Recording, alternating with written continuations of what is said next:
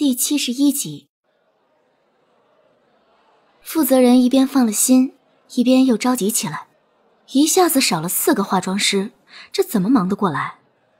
他们办婚礼的地方又在郊区，临时再找也来不及。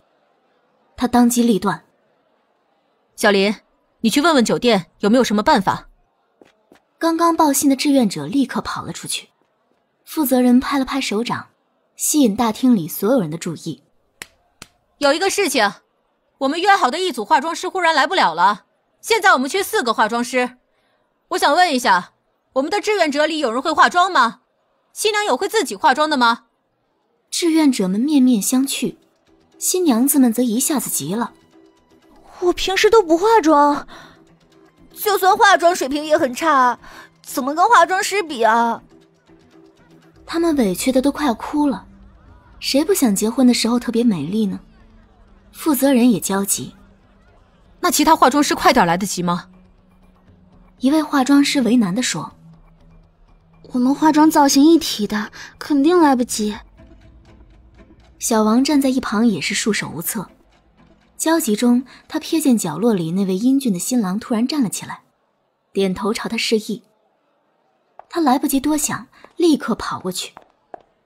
到了他们面前，新娘子朝他灿然一笑，说。你们缺化妆师吗？我的团队就在楼上。十分钟后，一对造型时尚的男男女女，一人拖着一个行李箱，宛如走 T 台般走进了休息大厅。走在最前面的年轻男人，在负责人面前停下脚步。你好，我们是乔小姐的化妆团队，请问哪些新娘需要我们化妆？负责人懵了一下，这些是化妆师。怎么和他请的化妆师画风完全不同啊？不过他们立刻反应过来，把他们往新娘面前带。是他们四个，新郎也要稍微打理一下，来得及吗？还有一个小时就要婚礼了。年轻男子打量了一下新娘们，新娘们这么漂亮，当然来得及。紧张的气氛一下子被驱散了，新娘们终于露出了笑容。化妆师们纷纷打开行李箱。取出巨大的化妆包，年轻男人一边摆着化妆品，一边目光在大厅里搜寻着，最终目光定格在了角落。他朝那边眨了一下眼，吹着口哨开始工作。休息大厅里重新有序的忙碌起来。一位还没轮到做造型的新郎起身到饮水机那倒水，却遇到一个绝对不应该出现在这里的人——于途。他惊诧的看着在饮水机前低头接水的男人。你怎么在这儿啊？你也参加集体婚礼？不对。才说完，他就自己否定了。怎么可能？你女朋友不是大明星吗？那你今天搞这么帅干嘛？一身西装笔挺，他猜测。难道是伴郎？谁这么想不开找你当伴郎？于途接完水，抬头一笑说：“不。”今天我也是新了。同事当时愣住了。于途回到座位，把水杯递给乔晶晶。等他喝完水，他拉起他：“走吧，我们离开这里。”乔晶晶站起来：“爸妈他们过来了？还没。那我们去哪儿？你不是说被发现了我们就跑吗？被发现了。乔晶晶回望大厅，好像的确有点小骚动。然而还来不及细看。他就被于途从小门拉了出去。小门外是草坪，他穿着高跟鞋和婚纱不好走路。于途一把横抱起他，乔晶晶惊呼了一下：“啊，我们真的要跑吗？”虽然有点刺激，但是好怕被爸爸妈妈打屁股啊！不跑。于途边走边在他耳边说：“我忽然有点紧张，担心弄错流程。”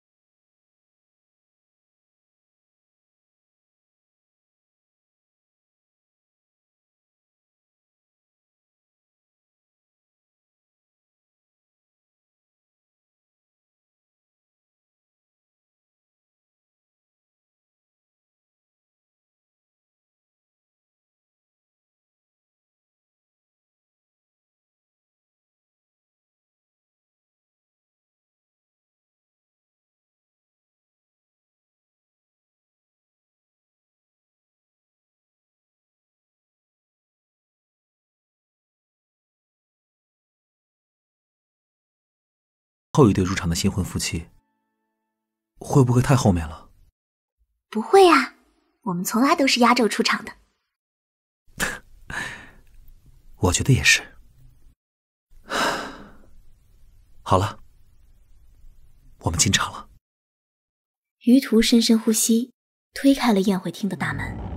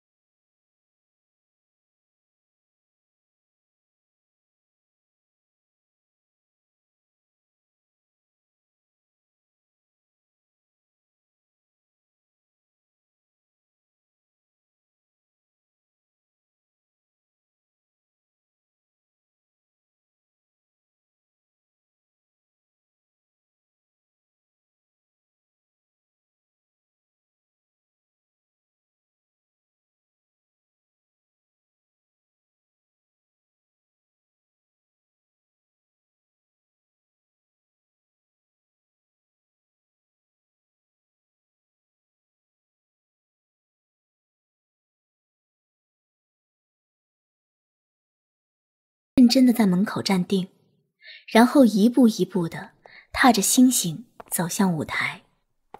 宴会厅里其实本来有几个人在调试设备，这时却都不约而同的停下了手上的工作，愣愣的看着他们。于途和乔晶晶完全忽略了他们的目光。此时此刻，在这个梦幻的宇宙里，只有他们彼此的存在。他们走到了舞台。我们站在这里。于途拉着乔晶晶，在一个有点偏的位置站定。你记得很清楚啊，根本不需要我导航嘛。于途轻轻的笑。我当然记得清楚。那然后呢？乔晶晶眼睛亮闪闪的看着他。然后，司仪会宣布婚礼正式开始。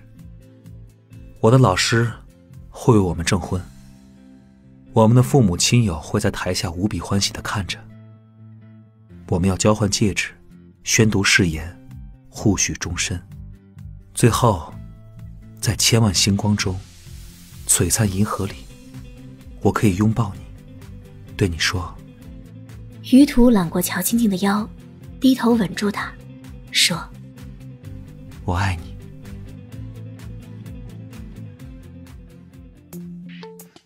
本集结束了，欢迎大家继续关注沈念如的其他作品哦，下集见。第七十二集。时光匆匆，转眼就是四年。这天，在横店拍戏的乔晶晶接到了于途从出差地方打来的电话。于途在电话那头说：“今天中午我去食堂吃饭，排在我前面的两个小姑娘是其他所的。”我听到他们在讨论我。哼，你现在也是有粉丝的人了，找我炫耀吗？于途在他们婚礼前不久，被任命为首个小行星探测器的副总设计师之一，前年又被任命为搜神号行星探测器的总设计师。作为航天领域最年轻的总师之一，也有了不少年轻的崇拜者。我怎么会找你炫耀粉丝啊？我听见一个小姑娘说，她对我幻灭了。你看了什么？人家怎么就幻灭了？她说，今天我在会议室外碰见于总，没想到于总看上去那么学术的人，手机桌面居然是女明星。嗯，唉，幸好他跟我接触不多，不然他会发现这个女明星的照片，我还一周一换呢。这两个小姑娘念书一定很专心，从不关注八卦。不过，或许跟乔晶晶一直以来在婚姻上特别低调也有关系。四年前，他们成功在婚礼结束后才被媒体发现，然后各种社交媒体就炸了。乔晶晶发了微博告诉粉丝自己结婚了，却没有带照片。虽然媒体很快就翻出了他们一起参加王者荣耀比赛的视频，但是到底比本人发照片影响力要小很多。随着时间的流逝，他不提，就更只有粉丝和特别关心娱乐圈的吃瓜群众关注了。后来你解释了吗？乔晶晶饶有兴趣的追问。后来那两个小姑娘买完饭，回头看见他都惊呆了，尴尬的不得了。于途本来点点头就算过去了，吃着饭却改变了主意，觉得实在不能让自己的形象受损。后来吃完饭又在门口看见他们，我特意走过去跟他们说：“我手机桌面是我老婆。”于总你好幼稚啊！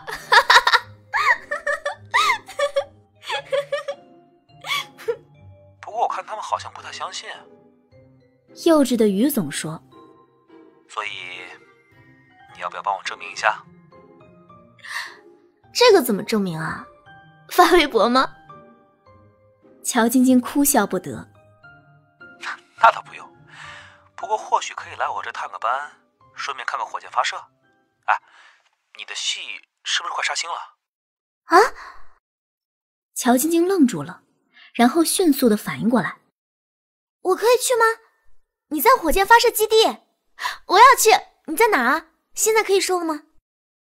那边被他一连串问题逗笑了，解释说：“可以来啊，这次院里组织了一个家属探班活动，我在海南文昌发射中心看火箭发射，怎么能顺便？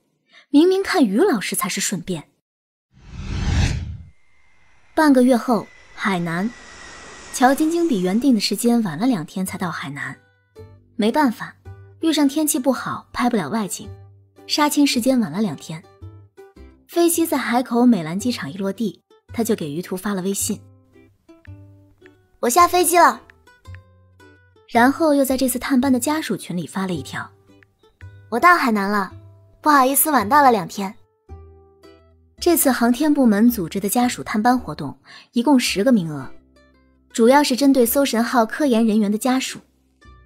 于途所在的巴陵作为抓总研制单位，拿到了三个名额，其他七个家属则来自五湖四海其他参与研制的研究所。负责这次活动的后勤工作人员专门给家属们拉了一个微信群，以便大家联系。不过航天人们并没有被拉进群里，毕竟发射任务在即，也不好太多的聊天记录打扰他们。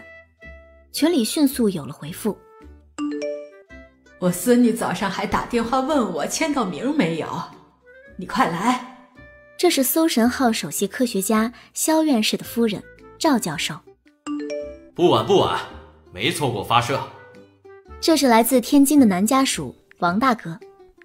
乔晶晶一一回复了他们，然后便收起手机，和小朱、玲姐他们一起去拿行李。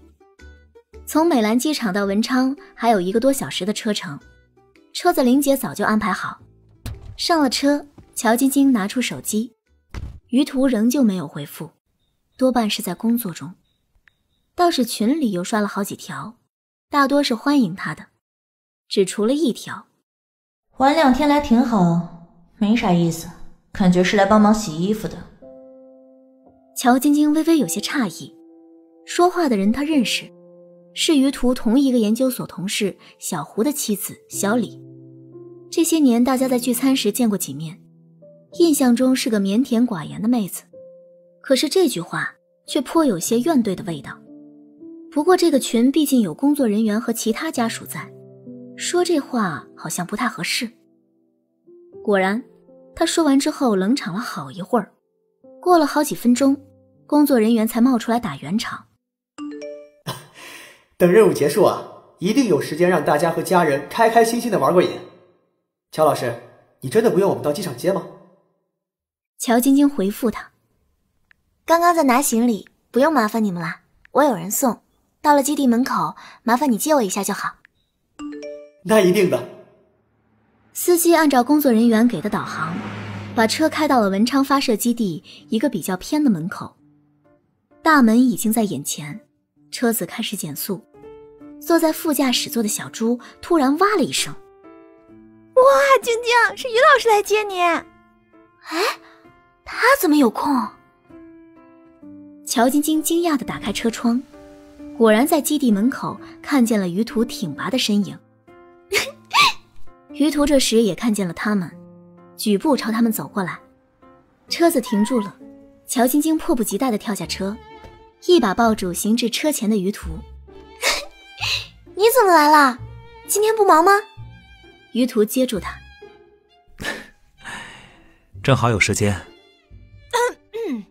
玲姐在后面简直没眼看，咳嗽了一声，提醒她基地门口有把守的军人们正看着呢。于途含笑向玲姐、小猪道谢：“玲姐、小猪，麻烦你们了。”“啊，不麻烦，我们也来海南度假。”小猪连连点头。“啊，晶晶说给我们报销。”乔晶晶嫌弃的说：“你什么时候旅游我不给你报销了？”小猪立刻彩虹屁。老板万岁，百年好合。于途失笑。小猪越来越活泼了。林姐说了下他们的安排。阿国带着孩子和小猪妈妈已经到三亚了，我们在三亚玩几天，也过来看发射。啊，我昨天看官方新闻公布了，说是周六晚上发射，对吧？这次啊，你们发射挺受关注的，好像央视还有直播呢。唉，就是不能像晶晶一样在发射场里面看了。镇上有几个观看点也很不错。于途推荐了几个地方，酒店里也能看。嗯，应该可以。啊，那挺好的，到时候我再跟酒店确认一下。行了，那我们先走了啊。玲姐急着去跟老公孩子会合，乔晶晶挥手欢送他们。等玲姐和小猪离开。于途拖着行李箱带乔晶晶到门口安检。航天基地因为涉密，都是由军人驻守。乔晶晶把自己的身份证递给安检的军人小哥，于途则在访客登记簿上登记。军人小哥核对完身份证后，把证件还给了乔晶晶。于途还没登记完，小哥看了乔晶晶好几眼，最后红着脸，憋不住的说了一句：“乔小姐。”我我从小看着你电视剧长大的，啊，谢谢。于途在旁边不给面子的笑了出来，乔晶晶偷偷踢他，于途边低头登记边训练有素的小走位闪避。等登记好递还登记簿的时候，他还十分礼貌的带乔晶晶向人家再度道谢，谢谢你从小到大的支持。小哥脸更红了，憨憨的摆手。呃，不用不用。乔晶晶无语，扎心了，小哥。唉，小哥，你这样以后怎么找女朋友啊？不过于老师这么欠揍的都能找到，小哥应该也不能哈。受到打击的乔晶晶蔫蔫的跟着于途过了安检，很快又新鲜起来。因为他发现于途居然开了一辆敞篷电动车来接他，就是旅游景点常见的那种可以坐十几个人的旅游观光电动车，感觉有点酷啊！乔晶晶立刻爬上最前排的副座。你怎么弄了这么一辆车来接我？借到什么就是什么。于途把他的行李箱拎到后排，坐上驾驶座后，又拿出一顶早就准备好的大草帽。啊，给你防晒。于老师肯定是世界上学习能力最强的直男了。乔晶晶满意的把草帽往自己头上一扣，催促他：“走了走了，导游开车。”本集结束了，欢迎大家继续关注沈念如的其他作品哦，下集见。第七十三集，观光车悠悠的行驶在宽阔的椰林大道上，头顶着蓝天白云，吹拂着轻柔海风，目光所及之处尽是绿地椰树。乔晶晶舒服的靠在椅背上，觉得连日来赶戏的疲惫一扫而空，整个人身心都轻松了。这里简直像旅游景点哎！这个基地本来就兼具旅游和科教功能。导游，你很失职啊，也不给我介绍一下。哦。于途应了一声，开始背资料。文昌航天发射场是我国四大发射场之一，也是唯一的低维度发射场。这些我百度百科上看过了。食堂非常好吃。还有呢？我要在这里把搜神号送入太空。于途目视着前方开车，唇边带着淡淡的笑意，眉宇间尽是自信的神采。乔晶晶看着他，心中也豪情澎湃起来。好吧，那这里是我最喜欢的发射场了。他指着远处矗立的巨大钢铁建筑问：“那个是发射塔架吗？”“嗯，那是长武的发射塔架，另一个是长期的。”那两个很高的白色建筑是什么？总装测试厂房。在乔晶晶叽叽喳喳的问题中，观光车转了个圈，开进了一条较为狭窄的路。两旁的椰子林好像更密了一点静谧而幽深。乔晶晶安静下来，一会儿问他：“你们这里有没有监控啊？”观光车突然减速，徐徐停在了路边。乔晶晶疑惑的扭头，干嘛停？他的嘴唇突如其来的被堵住了。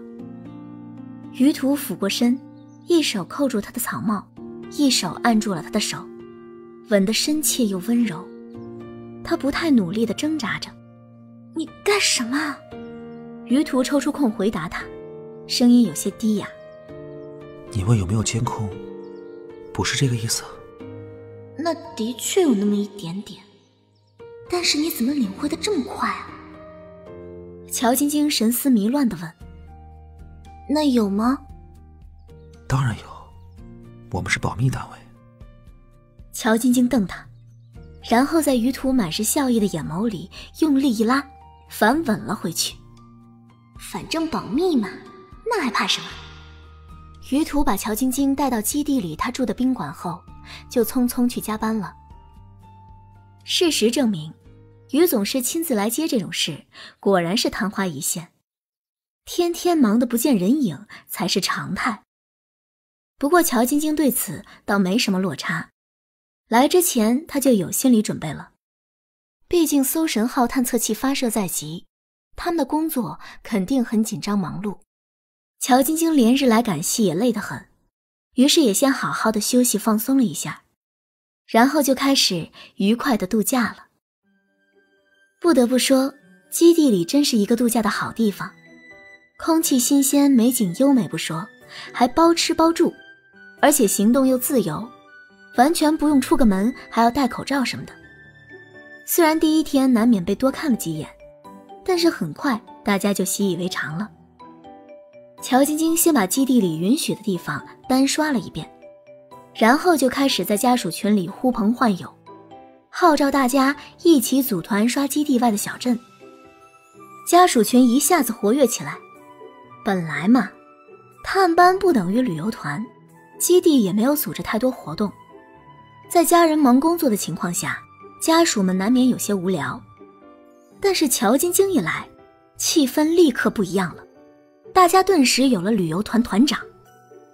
很快，于总就在百忙中接到了同事们的各种意见，有感谢的，比如肖院士：“你太太很不错，自从她来了我家，赵教授再也不说无聊了，天天在外头玩的开心，就是晚上一回去啊，就拉着我看照片。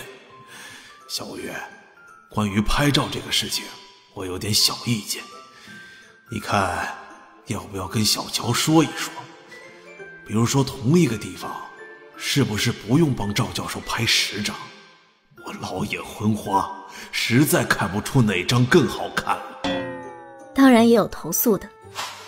哎，以前我回去啊，老婆都用电饭锅炖着补汤，你老婆一来，就只有外面带回来的夜宵了。有次我回去啊，他们还没回来呢。于途向乔晶晶传达了一下大家的投诉，乔晶晶对此却自有一番大道理。我们玩的开心，你们才能毫无后顾之忧的工作啊，不然心里还要内疚，没时间陪我们，心理压力多大啊！有如此善解人意的老婆，于途还能说什么呢？当然是把老婆的理由反馈给同事，并大方的表示不用谢了。好像有点道理啊。但是好像又有哪儿不对。不过几天玩下来，乔晶晶却对小胡夫妇有点担心。某天睡觉前，她问于途：“小李好像一直不太开心的样子，他和小胡怎么了？”于途极简单的说：“小李前阵子生病住院，小胡太忙了。”不用他多说，乔晶晶便明白了。那。要我做点什么吗？乔晶晶也不太确定，好像说什么做什么都不太合适。不用了。于途考虑了片刻，说：“如果小李觉得和小胡在一起付出太多不开心，我们也不能劝人付出啊。”乔晶晶叹了口气，于老师的婚姻爱情观有时候简直冷静到冷酷。理智上，他赞同他的说法。但是小胡和小李明明都是那么好的人啊！他靠在了于途怀里。幸好我也忙，不然说不定也会怪你的。于途没说话，一下一下的抚着乔晶晶的长发。乔晶晶安静的偎着。于途的动作渐渐慢了下来。过了一会儿，耳边传来他均匀的呼吸声，他睡着了。乔晶晶轻轻地挣脱出来，让他睡得更舒服一点。他玩了一会儿于途的头发和手指，心满意足地闭上了眼睛。很快就到了火箭发射的日子，家属们观看的地方被安排在了指挥控制中心大楼前的广场上，这是最佳的观看点之一，也是离航天人们最近的地方。周六晚上吃完晚饭，他们早早的就跟着工作人员来到了观看点。那边已经聚集了不少人，比他们来的还早。负责他们后勤的工作人员指着身后的大楼说：“这里就是指控中心，现在你们家里人就在楼里，估计都紧张着呢。”他说着有点遗憾。本来最早啊想安排大家在指控中心里面观看的。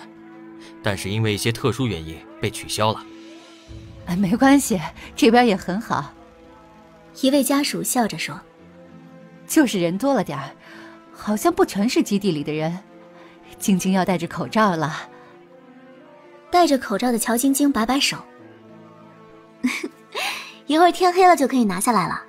其实就算现在拿下来也没事啊，大家都看火箭，不会关注我的。”的确如此。此时，远处的发射塔架已经打开，巨大的长征七号火箭矗立在发射工位上，所有人都在注视着它，饱含兴奋和激动，一点都不觉得等待的过程枯燥。就这么闲聊着，发射的时间一点一点逼近了。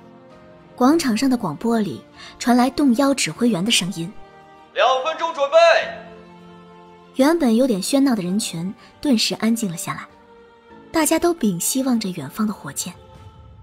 一分钟准备，五十秒，四十秒，三十秒，二十秒，十、九、八、七、六、五、四、三、二、一，点火！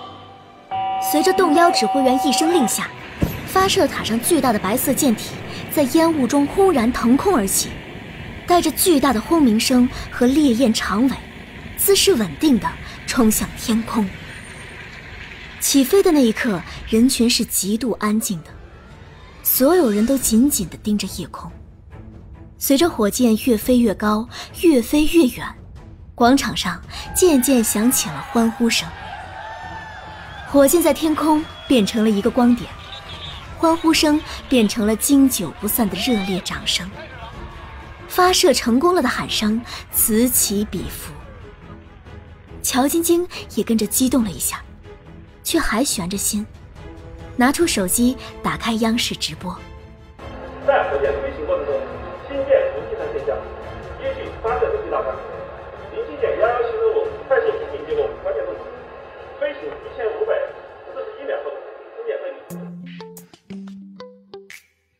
本集结束喽，如果喜欢就订阅分享五星好评，记得分享哦。主播在这里感谢你啦！第七十四集，太阳帆板展开到位，卫星状态正常。直播比起现场显得有点冷静，画面大部分时间展示着火箭飞行的实时动态模拟图，偶尔也会切一下指挥大厅和央视演播厅。直播里的报告声不停的响起。文昌光学雷达跟踪正常。遥测信号正常，文昌飞行正常，铜鼓岭跟踪正常，遥测信号正常。这是全国各个测控点依次报告着火箭飞行情况。不知不觉中，家属们都围在了乔晶晶身边，大家一起看着手机，认真的听着播报。大约三分钟左右，助推器分离，接下来，一二级成功分离，抛整流罩。终于，大约十分钟的时候，二级发动机关机，器件成功分离，搜神号探测器成功进入预定轨道。乔晶晶长长出了一口气，脸上真正露出笑容来。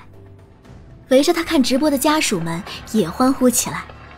王大哥说：“啊，我真的是不太懂，这是不是就算成功了？”只能说发射成功吧。搜神号在太空中的旅行才开始，但是无论如何，它已经成功的出发了。懂得比较多的赵教授耐心的给王大哥解释着。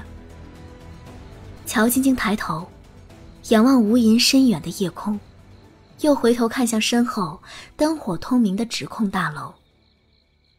那个承载着于途和很多人心血的梦想的探测器。已经离开了地球，按照预定的轨道在太空中飞行着。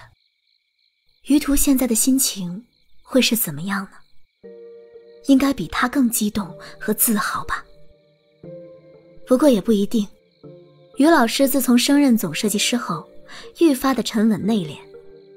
或许短暂的庆祝之后，正一脸冷静的盯着实时数据分析呢。忽然好想见到他。和他在一起。家属们这时候才发现，周围观看火箭发射的人群早已经散去。此时，指控大楼前就剩下他们这些家属了。人都走光了呀？那我们也回去了。乔晶晶从远处收回目光，突然想起于途早上离开前的叮嘱，连忙说：“等一下，一会儿可能有采访，我们看完采访再走吧。”正说着，直播画面就从央视演播厅切到了指控大厅。央视记者开始现场采访了。第一个接受采访的人正是小胡。乔晶晶立刻把手机塞给了小李：“快看，小胡被采访了。”小李愣了一下，目光落在了手机屏幕上。记者问了小胡不少问题，小胡不慌不忙一一回答着。他平时最拙于言辞的一个人，此时面对镜头却是侃侃而谈，浑身上下充满着专业的魅力。小李看得目不转睛。对小胡的采访持续了很长时间，接着，记者又采访了搜神号首席科学家肖院士。肖院士回答了记者关于搜神号的意义和科学目标方面的问题。最后被采访的，则是一位德高望重的航天前辈。全部采访到这里就结束了，镜头又切回到了央视演播厅，家属们有些意犹未尽。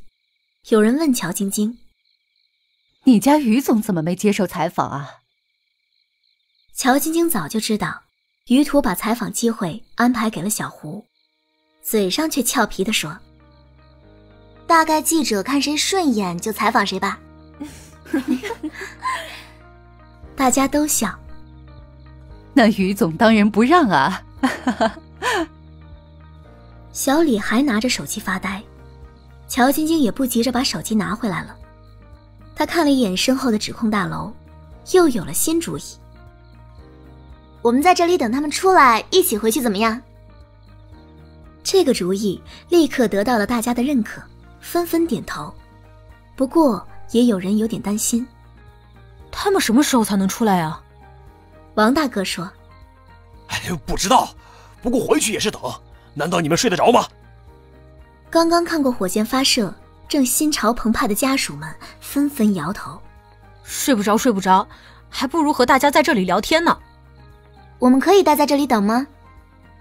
乔晶晶问工作人员，工作人员点头道：“应该可以，不要乱走就行。”于是就这么说定了。他们现在站的地方太中心了，一群人往远处边上走了走，找了个距离稍远又能看见大门的地方，边刷着新闻边聊着天，等着家人出来。大约一小时后。陆续有人出来了，却始终不见于途他们的身影。赵教授比较有经验，这些应该是负责火箭发射的，负责探测器的肯定要晚一点儿。又过了一会儿，肖院士率先出来了，看到他们在等，很是惊讶，指着乔晶晶笑着说：“是不是你的主意？”乔晶晶俏皮一笑。是呀，我就知道，小夫妻两个一样主意多有机灵。你们再等等啊，今天发射很理想，不会太晚的。没想到于总在老院士那儿居然还有这么活泼可爱的评价，乔晶晶不由暗笑。工作人员带着两位老人先走了，陆陆续续的，又有人等到家人后离开。最后，大楼外只剩下了乔晶晶和小李。乔晶晶等得有点困了，终于看见小胡出来了。小胡见他们，简直受宠若惊，对着小李不敢相信的问：“你在等我？”小李被他弄得有点不好意思了。乔晶晶代他发言：“不等你等谁啊？我家于途呢？怎么还不出来？”“哦，他跟我一起走的。”好像被人拉住说话了，快出来了！小胡抓了抓头发，呃，我们陪你等他一起走。别别别别别！乔晶晶简直无奈了，小胡能不能拿出点智商摊给情商啊？你们别打扰我和我家于总的二人世界啊！正说着，眼角余光瞥到了指控大楼台阶上走下来的人影，乔晶晶连忙说：“我看见他了，你们先走吧，拜拜。”走快点，不要当我们电灯泡啊！不等小胡夫妇反应过来，他就跑了，迎着于途的方向快走了几步，却见于途走下台阶后停在了路边，拿出手机，似乎在开机。他们在里面手机都是关机的，现在一出来就开机，会不会是要打给他啊？乔晶晶连忙也停下脚步，把手机调成震动，结果过了一会儿。于途已经在通话了，他的手机却仍然毫无动静。这就过分了，他在打给谁呢？